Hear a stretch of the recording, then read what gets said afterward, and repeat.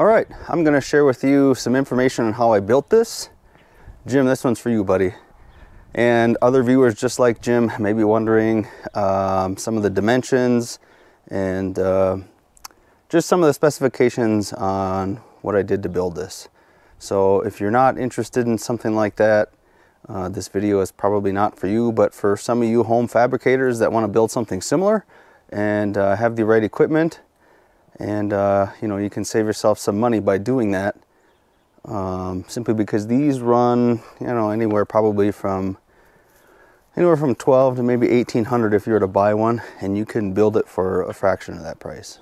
The other thing I want to share with you is some of the mistakes that I made in building this.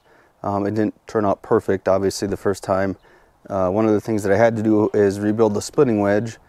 And so I'll show you my old one and compare that to the new one and why I rebuilt it.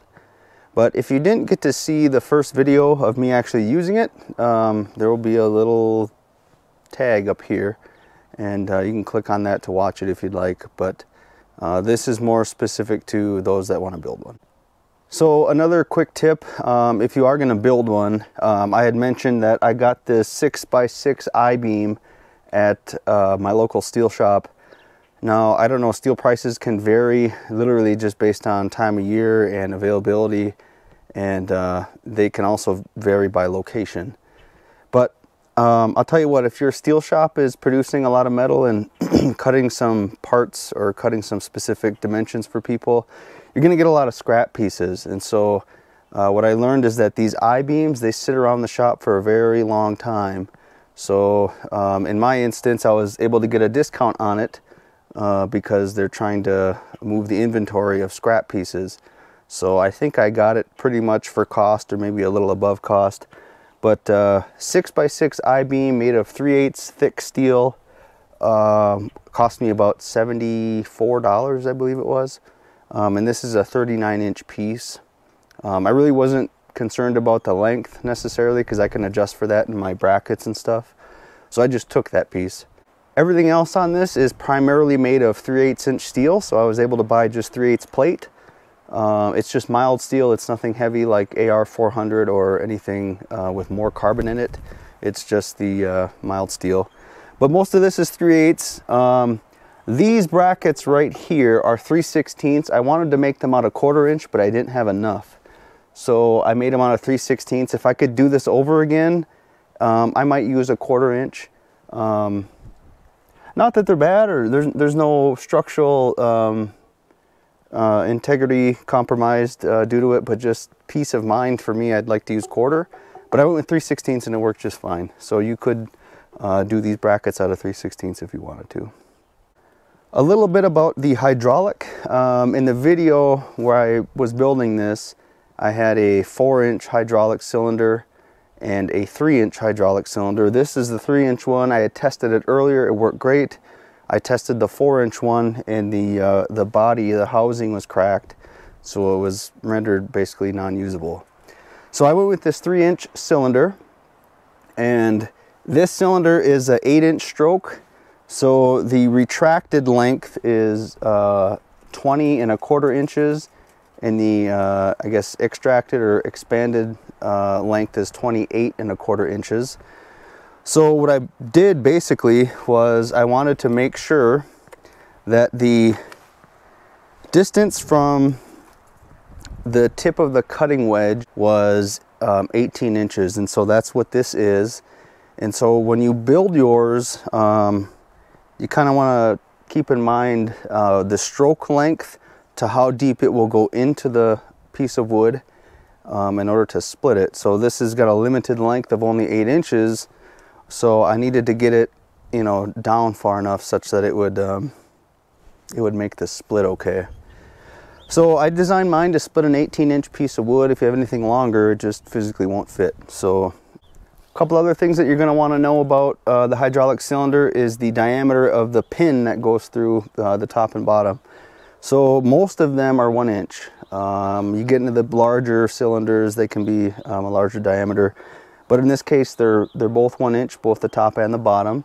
So what's nice is that you can buy pins at um, any farm implement store, um, like top link pins, and those are also one inch.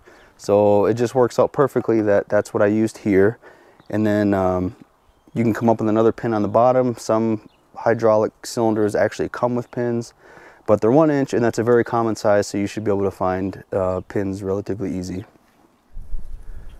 Okay, so these brackets um, I designed on, I use a program called Fusion 360 and then I cut them out on my CNC plasma table. Now, most of you obviously probably don't have something like that, but you don't have to make them, you know, nice rounded corners or anything. You basically just got to make a bracket um, so that the top pin fits in there. Now, what I should mention though, and something that you might want to consider is making sure that the hydraulic cylinder stays parallel with the body of the uh, I-beam or whatever material you're using. And the reason for that is so when the hydraulic cylinder extends and then retracts, that it doesn't tilt. It doesn't make the, um, the splitting wedge tilt either way because then it's going to dig in and you might bend um, a piece of metal.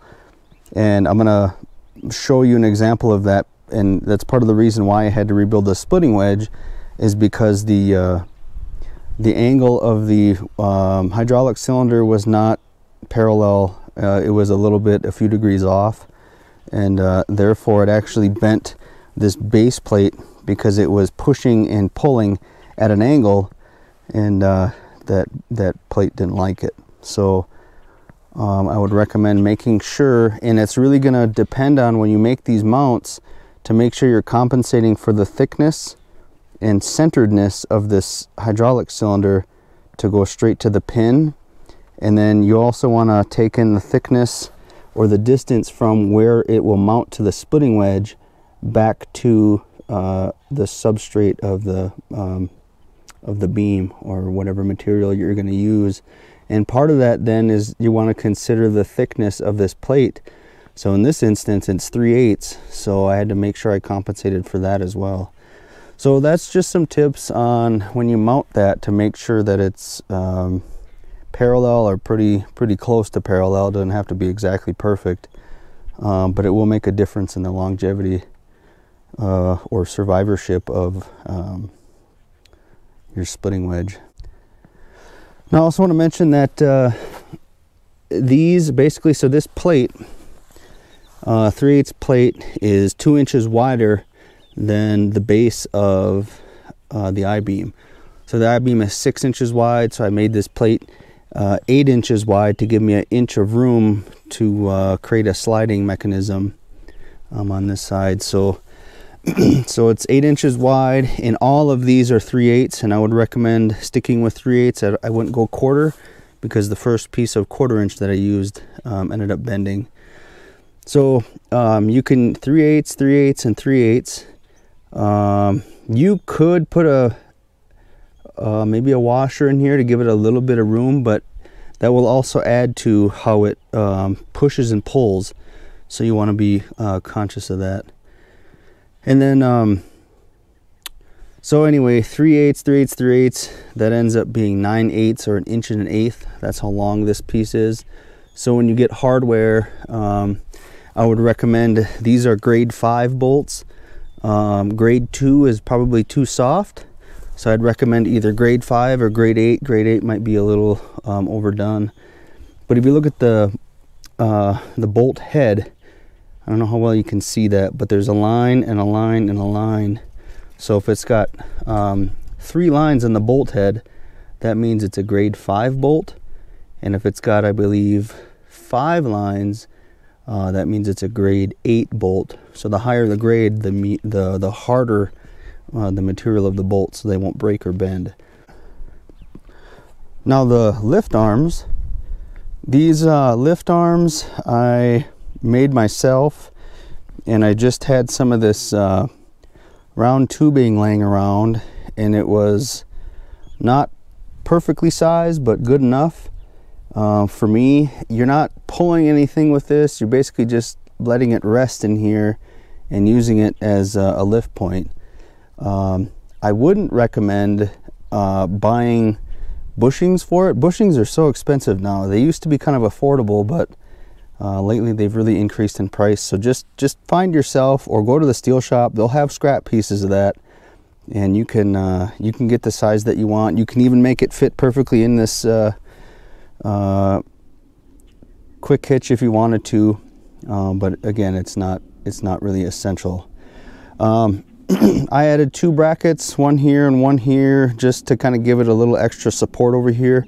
This is not intended to be any type of a clevis hitch type of a hook, uh, though you could design yours that way if you wanted to, but um, sometimes I come I encounter some alignment issues with clevis hitches. Uh, so anyway, I just stuck with uh, the pin style here and just made my own. So I'd recommend you do that if you want to save some money. Oh, I also want to mention the distance from the floor so if this was resting perfectly flat on the floor, uh, to the center of this is 12 inches. Um, you could probably get away with 10 inches if you wanted to and get a little bit more lift height out of it. Uh, but I went with 12 to give myself plenty of room um, so such that as I'm backing up to it, um, I have uh, plenty of distance here uh, to grab a hold of the pin and lift it. So that's 12 inches from the floor uh, to the center of the, of the pin and then the uh, top pin is about 27 in my case it's 27 and three quarters from the floor. Um, you could probably get away with uh, 27 because mine's not resting perfectly. It's more so in the center of the hook. Um, but that really doesn't matter too much. Uh, you could adjust it here. Uh, but I never really adjust mine because it's it's at where all the other implements hook up to. So I'd make that at least uh, 27 to 28 inches from the, from the floor. Okay, let's talk about uh, the bottom plate. This bottom plate is made out of 3 8 steel and um, this dimension is actually 24 wide by 32 long. No, 30 long, I'm sorry. 24 wide by 30 inches long.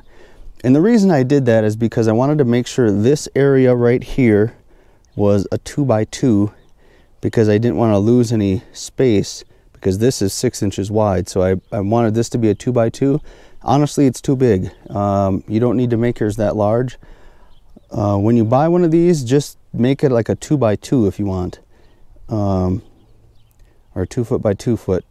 24 by 30 I think is um, a little too large. If I could redo this again, I'd shave off six inches here and, and just save the, the cost of this plate by doing that. The other thing I'll mention is I've used it a couple times. There's just a slight bend to it. So what I'm going to do is actually put some uh, box channel under here, some rectangle channel, and then I'm going to put it uh, the rectangle part horizontally such that I can actually use um, pallet forks and, and in case it's sitting on the ground, I don't have to hook up to it. I could just put the pallet forks on, lift it and move it around wherever I want to. And that'll add strength to uh, keep it from bending. Um, so I'd recommend you just do that right away. I should have done that right away and I didn't, but I'm gonna add that later. And then um, I'll have to repaint some a little bit because I know the, the heat from the weld will bubble the paint, but that's fine. So now if you do do that right away, then you have to compensate for that distance and make your distance from your pins to the floor you know that has to be that has to be factored in. So overall distance um, so if you were to put something there the overall distance from the floor to the pin should still be 12 inches. Uh, just know that that dimension would then change. Okay before we talk about this splitting wedge let's talk about this one. So this is my first one and uh, Here's why I redid it. Uh, a couple of reasons. I actually had it all hooked up and I tried it. And the main reason I redid it was because this base plate right here bent on me. Um, and that's due to the incorrect angle or being non-parallel with the sub, uh, substrate and that's why it bent. So that's um, also a quarter inch material so I'd recommend making out of 3 eighths.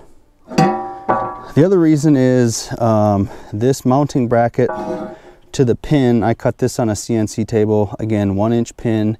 The, the length here doesn't really matter, it's really up to you. Um, you could make this longer if you want. You don't have to, but um, why I made another one is because this is only one 3 8 wide, and on this one, I actually put two of them together and welded them. And this is a bad weld because it's kind of a butt weld uh, to close this gap um, between the um, hydraulic shackle or whatever that's called and uh, and the splitting wedge. So I welded two of them together to compensate for some of that uh, distance. Now I really should, and I think I will actually make some shims and put some shims in there to, to really tighten that up because the angle, I mean, it still can move side to side, so you don't want it pushing um, to one side or the other uh, either. So I'd recommend getting uh, either a really thick metal here, or if you cut um, a few of them, make sure that they um, anyway, make sure that this gap is kind of filled up a little bit. So I welded two of them together and I think that I'm actually going to add, add some uh, washers or some shims to that as well. So that's another reason why I built another one. And then the third reason uh, is that I made these kind of splitting portions too big. so the dimensions of this whole thing, and it's the same on this one, uh, this is six inches long from tip to here is six inches. Um, I made these, and it's six inches tall, so it's it's like a perfect square, six inches tall. These portions right here to help split the wood apart, I made these six inches tall or high, and then I made them five inches wide. Um, on these one or on this one, I made them same six inches tall, but I made them three inches wide. And I would recommend this um, because it allows for more distance right here uh, for the wood to start splitting. This was a little premature. so as the wood would start splitting, it would just kind of bottom out right here and then it wouldn't split the wood. So make sure that you don't make your wedge uh, too long.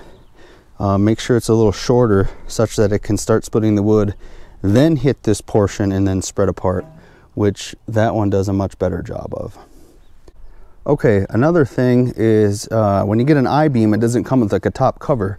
So you have to make one um, in order to make this top surface here flat so you can weld um, a bracket to it. So that's just a six inch by six and a quarter because that's the actual dimensions of the six by six. Um, so yep, you just got to make one of those too. So that's six by six and a quarter. And then finally, let's address the hydraulics, the lines. So I got some uh, comments about uh, why would you do it this way?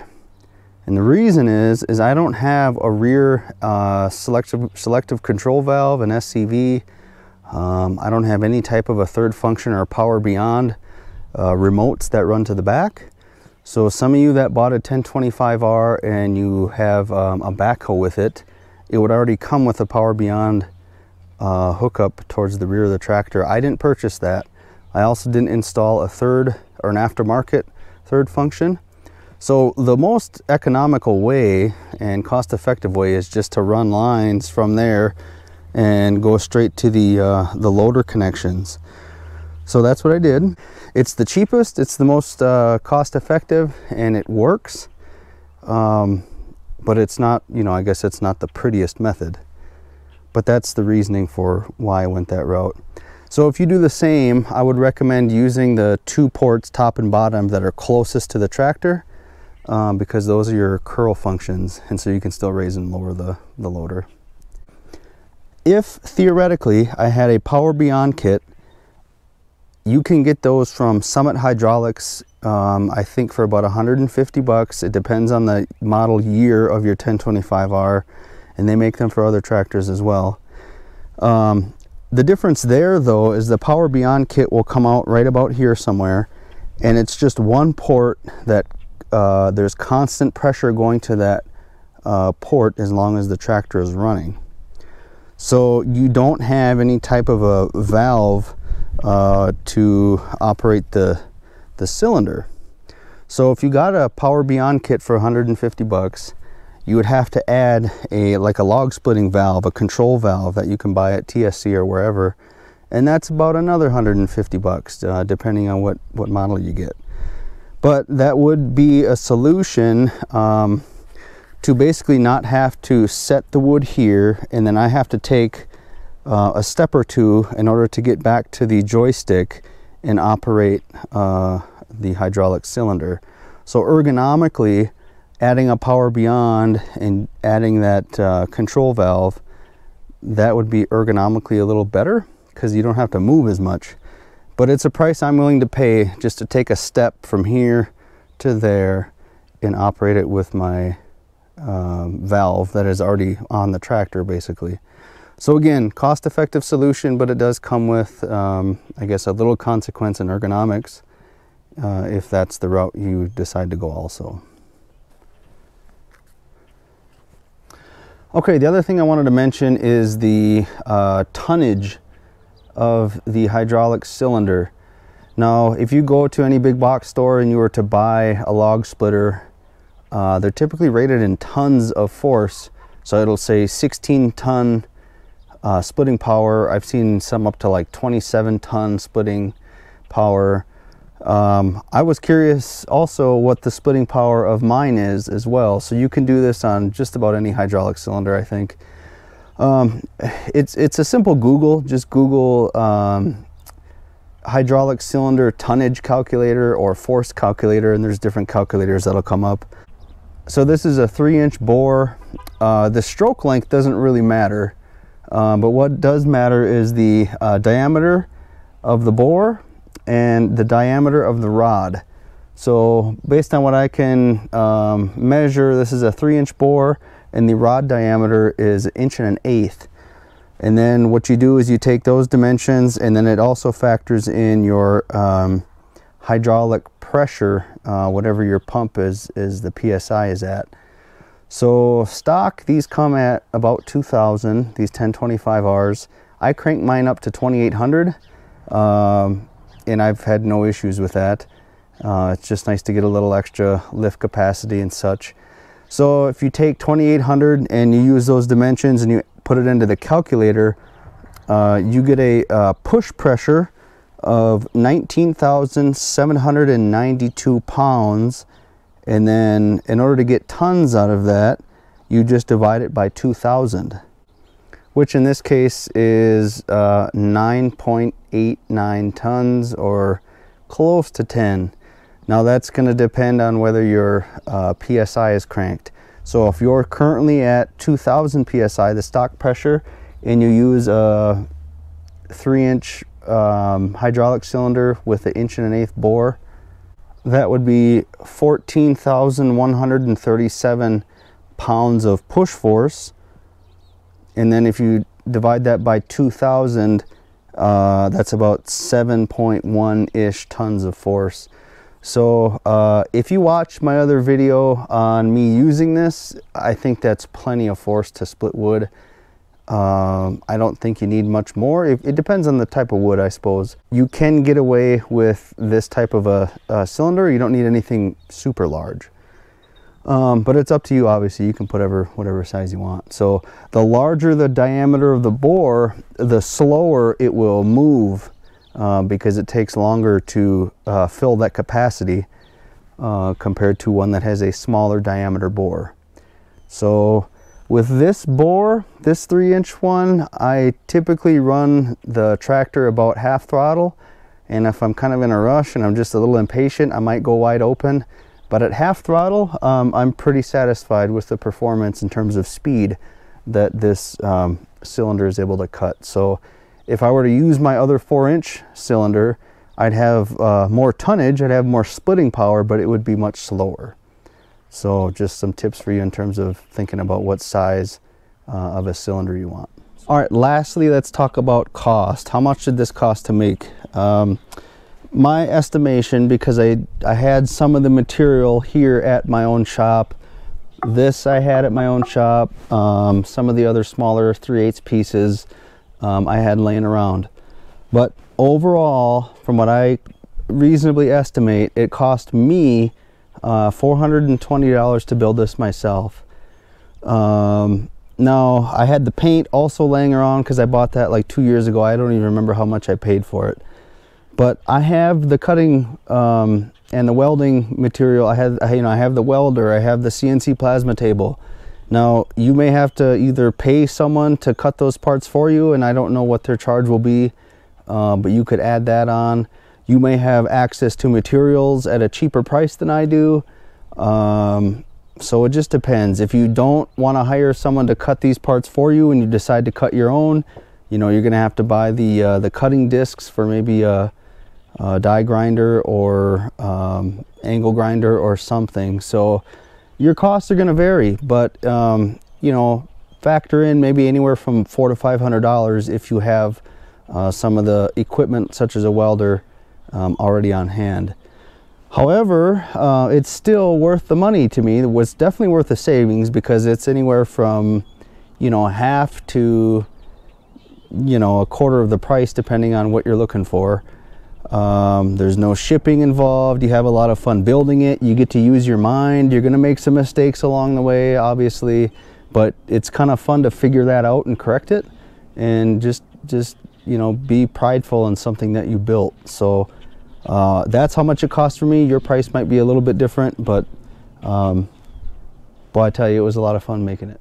Well, Jim, and some of you other viewers that were interested in this information, I hope it's helpful. I know it's kind of long.